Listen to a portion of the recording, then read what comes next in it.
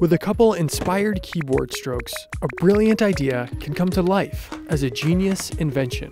Whether it's a successful game or a polarizing font, these four computer pioneers changed our office life forever. Solitaire is one of the most popular computer games of all time, and we went to find the guy who created it. Yes, may I help you? Are you the person that wrote Solitaire for Microsoft? Yes, but that was a long time ago. We gotta talk. Can we come in? Great. Thank you. All right. This is Wes. I'm Wes Cherry, and I wrote Windows Solitaire. I wrote the game in 1988 as an intern. Uh, internships at Microsoft were really uh, all-encompassing thing, but I squoze it in there in the few little hours of my free time. For those who need a refresher, Solitaire was played on the computer using a mouse. Cards are pulled from the deck in an effort to stack cards in order by suit, and if you won, you got an awesome display of cards cascading towards you. I came up with the idea to write Solitaire for Windows out of boredom, really. There wasn't many games right at the time, so we had to make them. In the mid to late 90s was just when people started really getting computers in their home. Microsoft officially said that Solitaire was there to teach people how to use the mouse. But in reality, it was just really just something to have fun with. Before they were released Windows, of course, Bill Gates uh, got a shot at it. His biggest complaint was that Solitaire was too hard to win. And once people figured out the mouse, it became a favorite pastime. The number of hours wasted on Solitaire is really countless. I can say that right after Solitaire was released in 1990, there was a world recession. So many people were playing it in the workplace that Wes came up with what he called the boss key. Press a special key and a spreadsheet was come up that made it look like you were doing real work. But uh, Microsoft made me take it out. Considering this game has been around for decades, you must have made a ton of money. I was not paid, not a single cent. At one time I said if I only got a penny per copy, I would be very rich. So far, only 14 people have made good on that. I'm still waiting for the rest of you. Well, you heard the man. Do you still work with computers? I work with Apple now. Apples, actually. And I own a cidery. Uh, Wes? There's something behind you! Wes, run!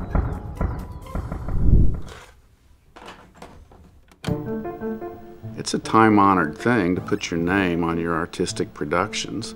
Writers have their name on the book, painters write their name in the corner. Why couldn't video game designers have their name in their games? This is a story about one man who took on a giant tech company and changed the gaming world in the process. My name is Warren Robinett. I'm the creator of Adventure, the first action adventure game. This was a video game that I wrote working for Atari in uh, the late 70s. They treated us badly in several different ways. No royalties, no name on the box, no external recognition, being told that we were easily replaceable. They disrespected us. So Warren hatched the perfect plan. What I did was I hid my name in the game in a secret room that was really hard to get to. When you got in there, the screen filled up with a flashing movie marquee that said created by Warren Robinett. Atari shipped out 200,000 copies of Adventure before anyone discovered Warren's secret room. How did they find out about that? A 15 year old boy in Salt Lake City wrote a letter to Atari and he very clearly explained how to get into the secret room. And Warren wasn't worried at all about repercussions. What are they going to do? Take away my royalty? Well, they weren't giving us any royalties. Fire me. It so happened that I'd already quit. But to Warren's surprise, his act of rebellion was well received by Atari's new lead game designer, Steve Wright. He's musing to himself about this situation and he said, It was kind of cool to have hidden surprises in video games. It's like waking up on Easter morning and going out and finding colored Easter eggs under the bushes and flowers. Everything ended all right for Warren Robinett. You can't say the same for Atari. Atari actually collapsed in one year, it imploded. Personally, I think there's some poetic justice there that the big, powerful, rich New York pushy guys could not defeat the one little 26 year old programmer who just had a sneaky idea and pulled it off without telling anybody.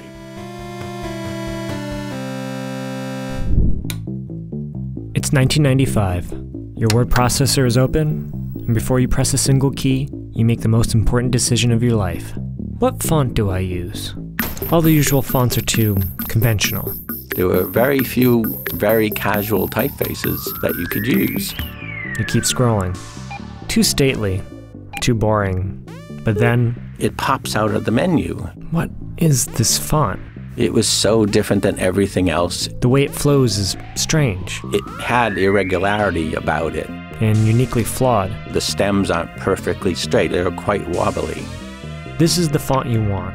And in that moment, you and millions of other people click on the button that says Comic Sans. How did a font both loathed and cherished come to dominate the world? My name is Vincent Connare. I was a typographic engineer at Microsoft. I contributed to lots of fonts like Webdings, Trebuchet, and most notably Comic Sans. So it's all my fault. To understand Comic Sans, you have to understand its creator. Years before his work at Microsoft, Vincent was working on his undergrad in New York City.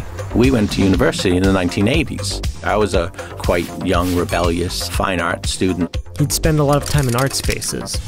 and I'd walk through the galleries of the old Soho and look at paintings and, and artwork.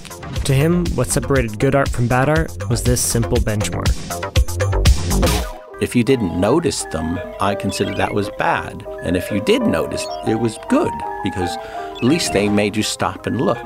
It either shocked you or you really liked it. But if you didn't even notice and you just walked through, it was a disaster. Vincent would take that philosophy to Microsoft, where he was challenged to make a playful font for a program called Microsoft Bob. And so I looked at Batman and the Watchmen and pretty much tried to draw on the computer something that looked similar to that but not copying it. So that's how Comic Sans was made, by just looking at comic books and comic characters. Not everyone was a fan of the font's quirks. My boss, Robert Norton, he didn't really like the font and he thought it should be a bit more typographic. And I argued and said, no, it should be weird. And, and I thought it stood out and it wasn't boring typography that's in, in a school book. Though the font didn't make it to the release of Microsoft Bob, it was eventually pre installed on every Macintosh by 1996. I started to see it when it was in, in the wild, so to speak. The first one I remember was a neon sign over a store called Fun Stamps. That's when I realized it's going to get used any way anybody wants to use it. And that just snowballed from there. The font spread like wildfire in ways Vincent didn't even imagine. When I travel the world and see it in, on beach towels, War memorials, on bread, street signs. on everything, Its overexposure even spurred a group of designers to start an anti Comic Sans movement. I thought it was funny. I didn't really find it offensive. After all these years, Vincent finds himself content with how history will remember him. And Comic Sans is not one of the better pieces of art, but conceptually, it's one of the best things I've ever done. It probably is the best thing I, I have ever done. This is the IBM personal computer. It was the most advanced computing machine ever created.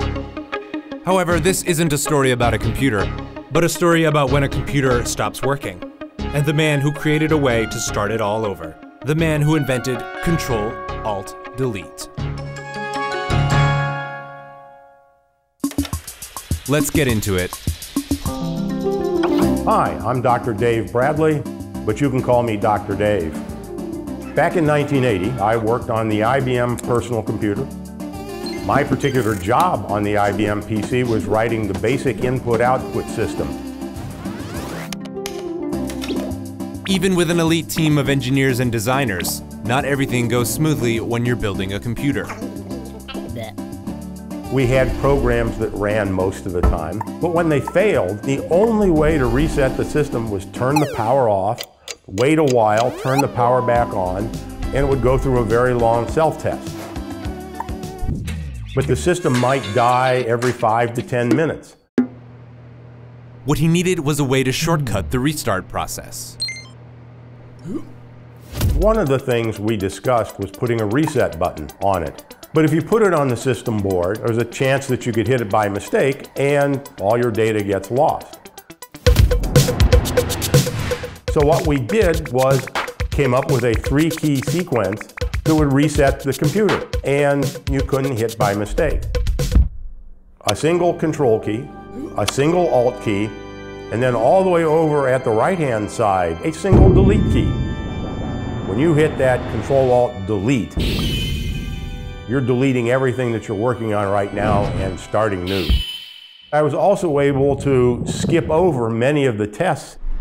So instead of taking a minute or two, it was 10 or 15 seconds. But it wasn't a big deal at the time. It was like number 17 on the list of 100 different things I had to fix. Even though it was built only as a development tool, programmers began incorporating the feature into their applications. From there, it was released into the wild, but didn't immediately reach pop culture status. For years, it was no big deal. And then at the 20th anniversary of the IBM PC, that's when Control Alt Delete became sort of a cultural icon. It was the simplest and easiest way to fix your problem. Hit Control Alt Delete, start all over. Despite all this, Dr. Dave doesn't think much of this contribution to computing history. I did lots of things with IBM, but all everybody remembers is Control Alt Delete. But I'll take that. The fame of Control Alt Delete means that I worked on a very successful product, and I'm very proud of having been able to do that. Hey everybody, my name is Drew Beebe, and I'm here in my terrible home studio that I've made during quarantine. And I wanted to tell you about our new podcast called Great Big Story. It's got more surprising and delightful stories just like this one. So head over to Apple Podcasts, to Spotify, wherever you get your favorite podcasts, and download Great Big Story.